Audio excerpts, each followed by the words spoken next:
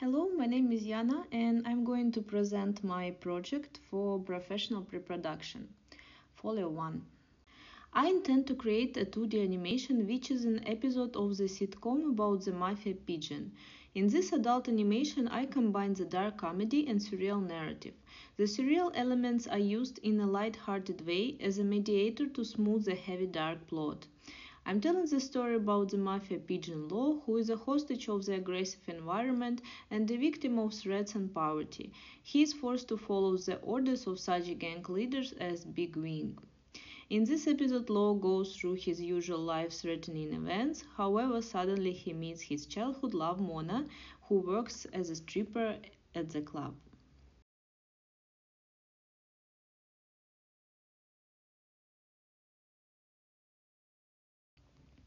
Those are mood boards for my project. Um, in here I showed my concept mood board, I showed my character, character mood board for the main character and background mood board for the scene um, outside of the strip club. During the pre-production process, I paid a lot of attention to character development because in the story there are a few different characters with different characteristics. For example, the main character Law, strip dancers, mafia bandits. I analyzed realistic pigeons, worked on the style of the images, uh, so that all the characters were made in the same style. Also, I paid attention to the rotation sketches to be able to start animating freely.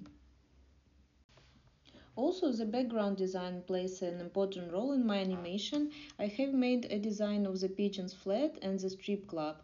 I plan on work on style of my environment design a bit more, but compositions and objects will stay the same.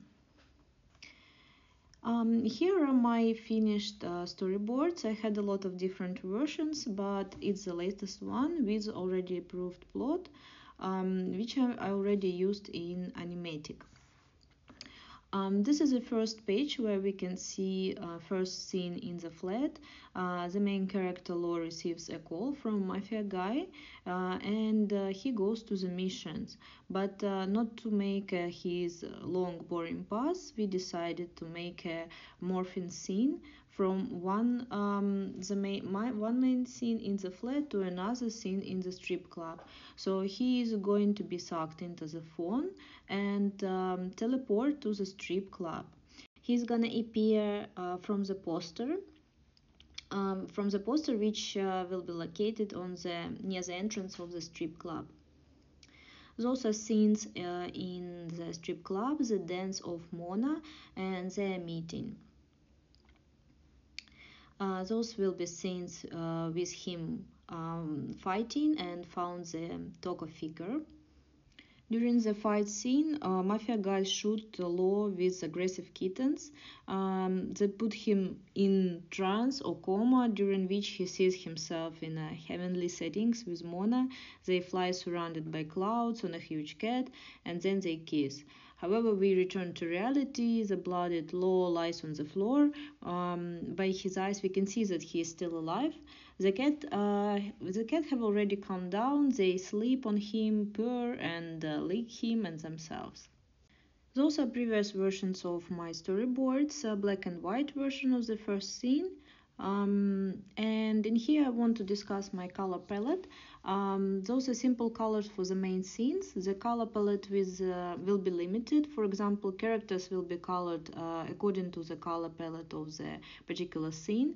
They won't have their own colors. Also, in the project, light will play an important role. The uh, action overall takes place in night.